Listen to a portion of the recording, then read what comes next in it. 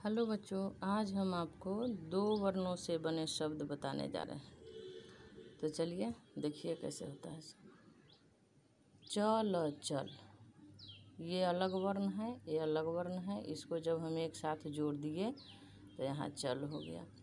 अब अब, घर घर। टब टब चल चल बस बस। वक वक। पर अत्र, पत्र। ये तो जोड़ दिए।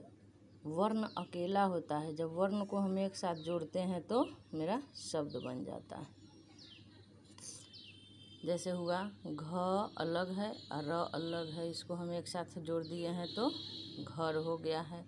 ब अलग है और स अलग है, इसको एक साथ जोड़ दिए तो बस हो गया। अब चलिए दो वर्णों से बने हम वाक्य बनाते हैं। कैसे बनता है इसे देखिए।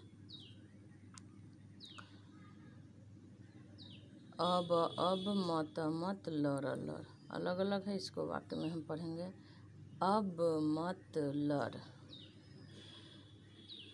घर तक चल। सब फल चख। नल पर जल भर। छत पर चढ़। यह हो गया हमारा दो वर्णों से वाक्य। यहाँ फिगर के साथ दिया हुआ है। आपको कॉपी पर लिख के इसको याद करना है। दो वर्णों के दस गो शब्द याद करना है। उसके बाद उससे बने वाक्य याद करना है। ठीक, फिर नेक्स्ट वीडियो में हम अगला कुछ पढ़ाई करेंगे। तब तक के लिए बाय